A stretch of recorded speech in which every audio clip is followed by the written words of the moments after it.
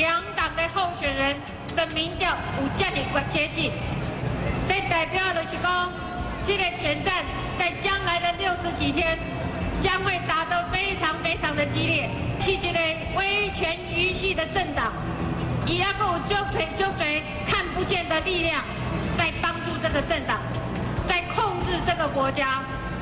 中国在很多很多的方面正在帮助国民党打这个战争。好，我们看到呢，这个蔡英文说的是语重心长哦，确实，他们国民党在很多看不到的地方使用了相当多的力量，在控制我们人民，在控制我们国家。刚刚我们可以看到，黑喜熊抽出出钱的保守娘娘，就把中国加入战局之后会产生什么样的一个状况？来，我们请两岸专家，嗯，郭委员。其实谈到连战功一中宪法刚好否定嘛，英九公不统不独不武嘛，一中宪法就是国民党的立场啊，这干嘛呢？欧北偏，跟我们这个是不统不统不独不武。哦，他跟连战就讲不一样啦。事实上，上个礼拜啊，人民大会堂中国的啦哈，哎，江炳坤因底下开台商大会，王岐山亲自出席呢，护中立，当场就承诺，公机票会尽量协助，对，就表示要懂完台兄登来投票了嘛。哦，这个动作已经开始了。那接下来我估计他会做几个事了，因为给他其实胡锦涛对和平协议没有回应了。他他基本上不想处理这个问题。嗯，按个九二共识的直接讲了呀。所以后期我想中国，但是拢无讲各自表述呢。他只讲九二共识哦。伊就伊多要用九二共识来连艾克法。伊就是吼，后期国民党一定用拍这几牌啦，讲只要是蔡英文当选吼，啊十六项协议就无去啊。国民党绝对拍这几张牌，经济恐吓牌。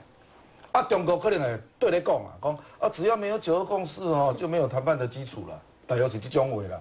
哦，啊，一定会透过很多管道去啊恐吓啦，比如讲私募医院的啦，讲，哎，那民进党动算你三万亿，两万不能无去啊，类似这样，他一定会这样做，哦，所以我是觉得未来啦，哈，你的蓝款的，我觉得他会打经济恐吓牌，啊，另外的是他挹注很多资源来帮助中国的所有的大兄登来投票，目前看得到的啦，嗯哼，啊，当然不排除到最后了哈，那马英九硬个要拍和平协议哈。那中国是不是会放一些善意啊？供他可以测部分飞弹，这让我可怜。嗯，所以民进党要紧紧久了。其实小英他已经预预告了这个一定会发生，嗯因为中国真正做欢乐蔡英蔡英文动算了。嗯，哦，按个伊的真正可可别动算了？那明仔载到可以的动算了。好，这个经济恐吓牌的部分哦，根据你的观察，你觉得效果大不大？这效果是安尼啦，因为埃克法讲实在是。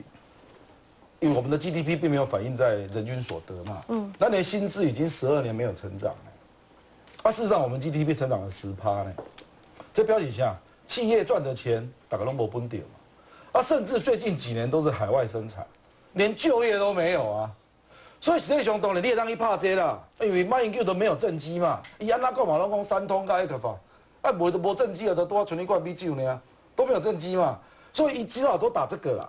啊，所以拢用恐吓的，就讲，哎，你若无，伊要坐飞机去做麻烦的，三通很麻烦啦。哦，啊，无就讲，哎，个法哎，订单都无伊啊啦，减税都无伊啊啦，嗯，类似这样。可是这个是相对的啦，等于我们历史刚刚讲，大家如果接受中国从今年开始来介入选举，这个哪会成功哦？伊要大概拢安尼算，你愿意接受这样的命运吗？这个是另外一方面，这种声音一定会出来嘛。嗯哼。啊，你现在收为精品哈。在这一些十六项协议里面，没有得到好处的人是不是多数？对，嗯，搞不好是多数。所以其实他如果真的硬要这样打哈，两个效果就会出来。第一个就是相对上没有得到好处的人，弄几率这边来啊。啊，第二的是讲，你要让中国从此都介入台湾的选举来做最后的决定者吗？阿联酋打完还是国家吗？嗯。